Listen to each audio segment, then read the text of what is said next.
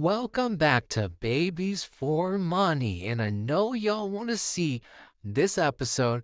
And um yeah, so um there's not gonna be much, just gonna be going over the characters. And uh, yeah, we're just gonna be chilling and um this is sadly the last episode of season two, so I hope y'all enjoy. I know it's really short, not compared to season one, how there were 11 episodes. So, hope y'all enjoy. It's not going to be that long. Season three will be, we'll have uh, 10 episodes, maybe like 10 to 12 episodes. So, yeah, so here we are, right here, about to do the last episode of season two. And I just woke up, so I'm like not even ready to do this. So,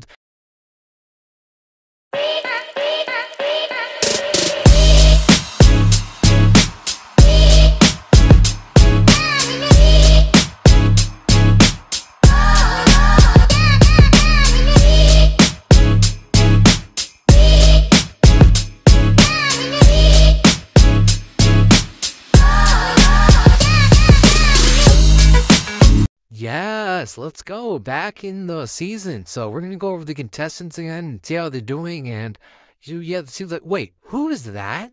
It's me. And Jellybean, you cannot be talking, bro. You have a dun dun dun dun dun McDonald's hairline, bro. You cannot be talking. Okay, so um, I guess I'm back for this one. In Jellybean, of course, I had make my appearance in the last season, season two episode, because of course, who doesn't love some good old ice pop? Appearing back again. Are you? You could go back to your talk. Dang, Jellybean, I could just not take that level of disrespect, bro. It's your tic tac teeth, bro. Cannot take that level of disrespect.